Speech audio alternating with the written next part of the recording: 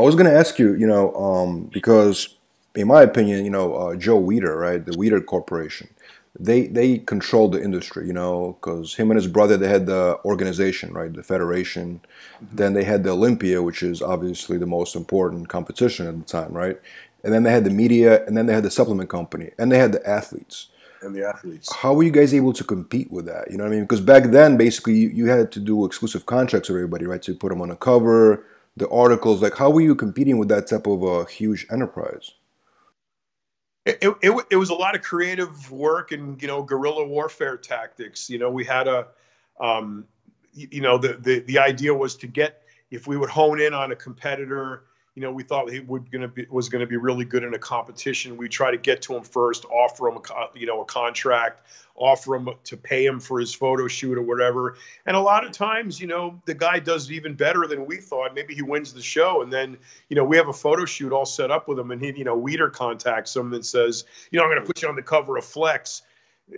there goes the MD shoot. You know, they're gonna they're gonna pick Flex over MD or any Weider publication. You know, hand, hands down.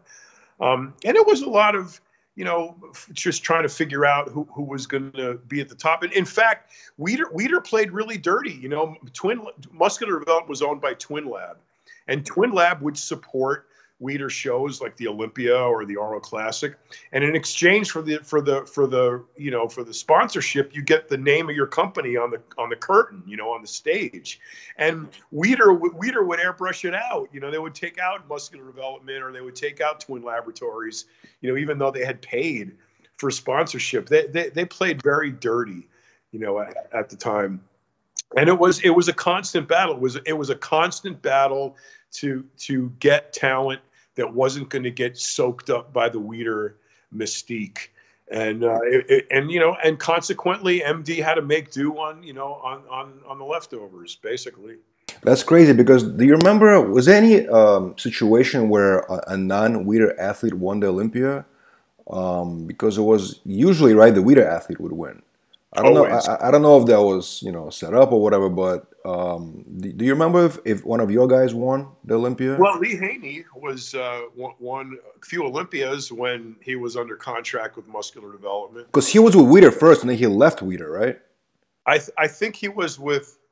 I think he was with was I don't remember I don't remember that was a long time ago. I think he was with Weider first and then he left Weider and and he and he still won I think two or three Olympias even the last one, which was the most you know controversial with a with a non Weider contract. That's crazy. That's that's that's probably the only one, right? I don't think there's been too many more. No, I, I know Jay Cutler had other contracts, but I think they were in addition to his Weider contract. So I, I, I really I, I really don't know specifically contractually who actually had an ironclad exclusive Weider contract and when the but for the the put it to, to play it safe, you could say the deck was pretty stacked. Most now Weider's now Weider's uh, comeback to that is well. What do you expect? Weider only signs the best athletes in the world. Who do you think's going to be? You know.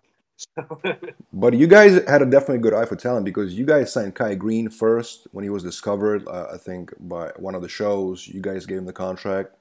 You also had uh, Dennis Wolf, right? I think you guys had Jay Cutler at some point. You guys had Branch a good Warren. Branch Warren. discovered Branch Warren. Yeah, yeah. Um, uh, there was a few. You know, the, um, I mean, lot, lots of them that we thought, you know, were going to be uh, up and comers. Evan Centopani was another one that we thought was going to be a great guy. Jay Cutler was definitely under contract with us for a while. We had Victor Martinez for a lot of years. Um, um, Dexter Jackson, of course, was was with us for a long time. We we you know Dexter Jackson, I think, first appeared in MD as a bantamweight. You know, it was he was when he first turned uh, you know won a national show. So yeah, we had I mean we had our fair share of them. You know, we were a force to be reckoned with, but we were we were not Joe Weider. So um, politics and bodybuilding does it do they exist? Politics and bodybuilding. Uh, yeah, unfortunately, what what do you well wait do you mean do you mean national politics or do you mean the politics? No, politics as people assume as people say politics and bodybuilding, meaning decisions ah, yeah. of judges' decisions on certain contests or whatever you want to call it. Well, you know, th- that's one of those questions that's basically unanswerable because the subjective nature of the sport breeds the, the the contempt for the outcome.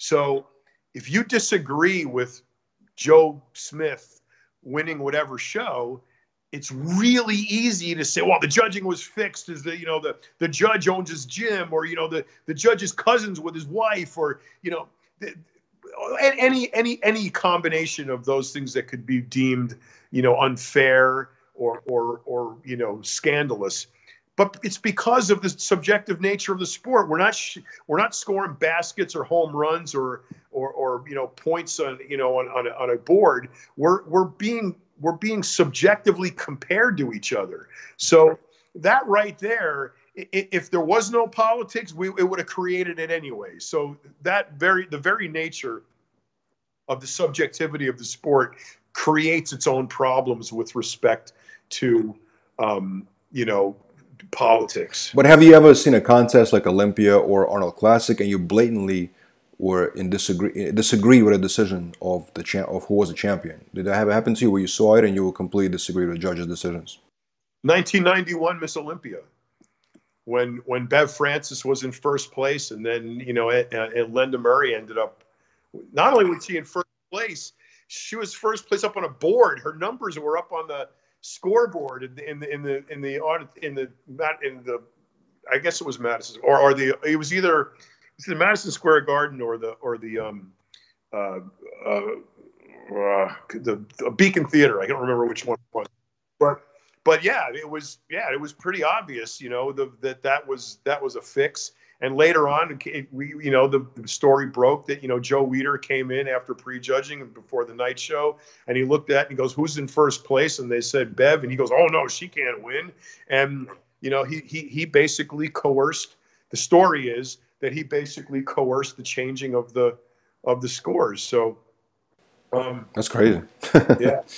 That was actually in a movie, right? That was Pumping Iron 2, women, right? That was that's what they covered that competition. Yeah, I yeah. remember that. Yeah. And then and there were lots of them. I mean, there were there was Nasser El somebody should have beaten, you know, Dorian. I forgot what year that was. Kevin Levrone should have been a Mr. Olympia. Flex Wheeler should have been Mr. Olympia. Chris Cormier should have been a Mr. Olympia. Rich Gaspari should have been a Mr. Olympia. Uh, uh, Victor Martinez should have been a Mr. Olympia. So yeah, there, there, there were many decisions over the years that I, I thought were were unfairly given to the incumbent.